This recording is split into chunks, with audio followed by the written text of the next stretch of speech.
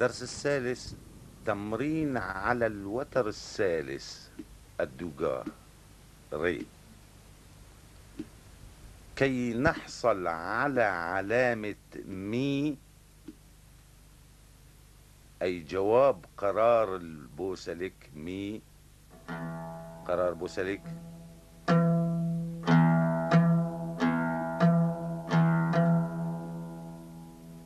كي نحصل على هذه العلامة نعفق بالأصبع الثاني كما تشاهدون. و لنحصل على علامة فا نعفق بالأصبع الثالث. كنا عزفناها بالأصبع الأول في القرار.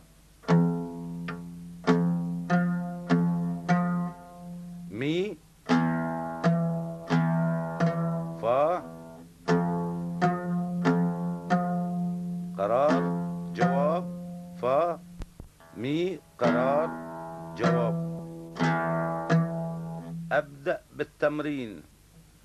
ري مي فا اتنين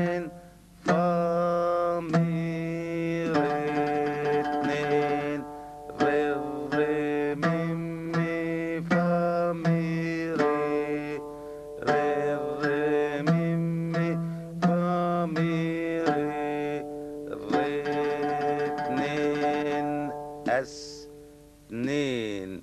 مي اتنين. سكوت اتنين.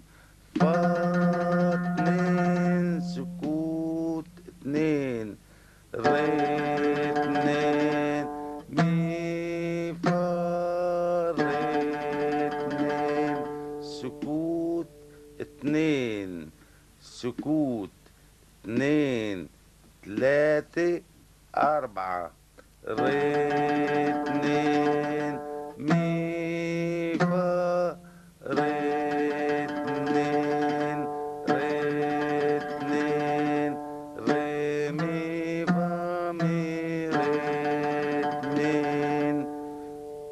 انتهى التمرين الأول من الدرس الثالث. الآن التمرين الثاني. التمرين الثاني العزف على الأوتار الأول والثاني والثالث.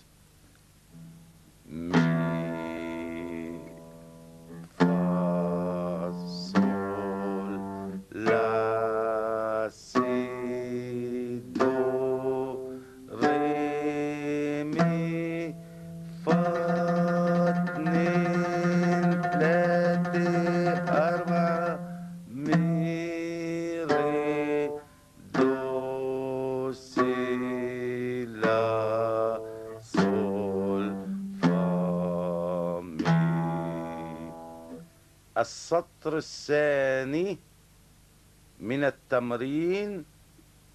مي مي فا فا لا لا سي سي دو ري مي فا اتنين تلاتة أربعة.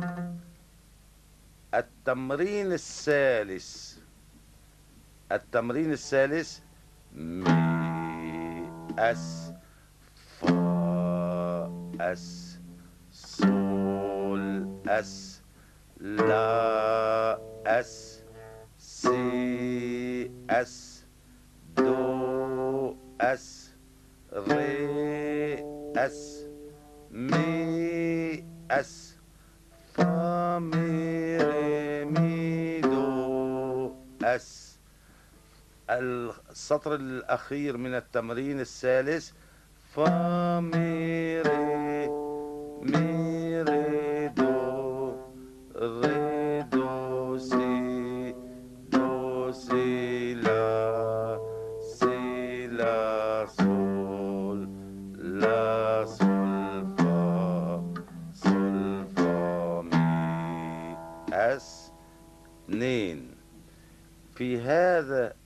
التمرين أي السطر الأخير من التمرين الثالث يجب الانتباه بهبوط وصعود الريشة. أعيد هذا التمرين. فا مي ري آه. عفوا. أعيد السطر الأخير من التمرين الثالث. فا مي ري مي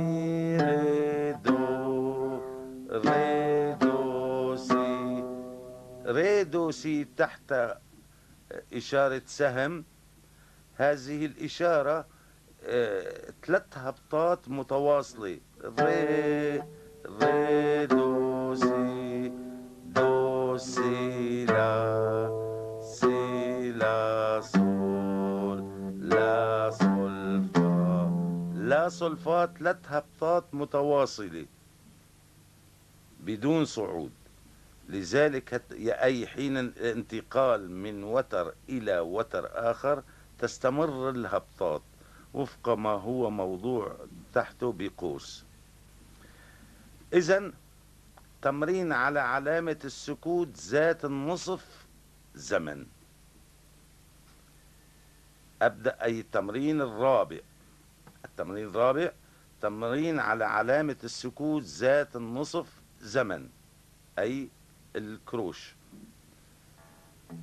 مي مي أس فا فا أس صول صول أس لا لا أس سي سي أس دو دو أس ري ري أس مي مي أس فا اتنين تلاتة أربعة أس مي مي أس ري ري أس دو دو أس سي سي أس لا لا أس صول صول أس فا فا أس مي مي السطر الأخير من التمرين الرابع.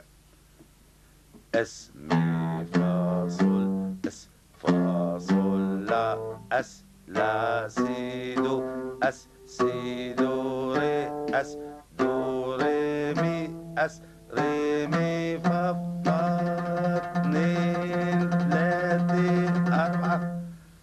انتهى الدرس الثالث والآن الدرس الرابع.